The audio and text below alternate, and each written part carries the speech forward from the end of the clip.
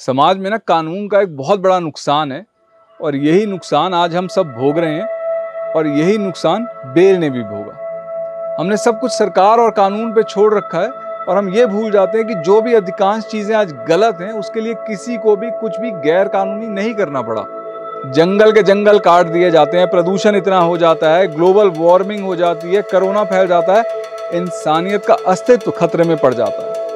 पर इसके लिए किसी को कोई क्रिमिनल कंस्पिरेसी नहीं करनी पड़ी। ये सब चीज़ें तब होती हैं जब आम आदमी ये नहीं देखता कि उसके एक्शंस का, खासकर उसी कंजम्पशन का, दूसरों पे क्या प्रभाव है, वातावरण पे क्या प्रभाव है।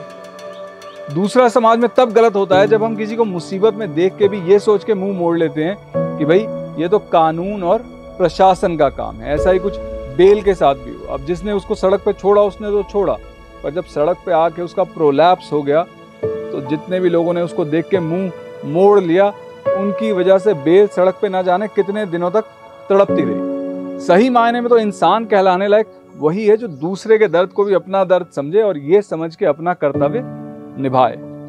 और आज ऐसे ही बहुत से इंसानों की वजह से बेल पूरी तरह ठीक हो चुकी है।